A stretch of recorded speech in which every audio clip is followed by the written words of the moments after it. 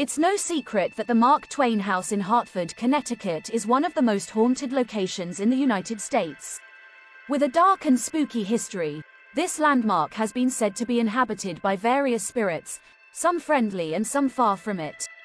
Originally built by architect Edward Tuckerman Potter in 1874, this Victorian mansion was purchased in 1874 by none other than the famous Sam Clemens, better known as Mark Twain.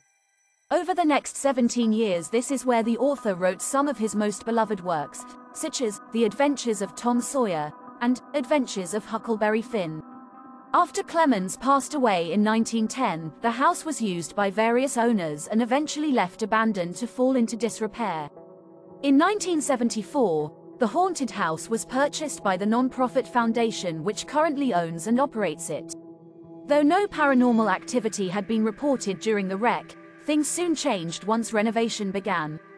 Today, many of the mansion's employees and visitors report strange events occurring with an unusual frequency. It seems that the spirits of those who once lived in the house continue to haunt the premises. From squeaks and bangs in the night, to mysterious shadows and unusual cold spots, the building is believed to be the home of many spirits, some of which are malevolent. Sightings of full-body apparitions have been reported as well as the eerie feeling of being watched by something unseen. Most famously, visitors have encountered the ghost of Mark Twain himself, with some claiming to have seen his legendary white suit as he wanders the house. Others have even said they heard him playing the piano in the music room.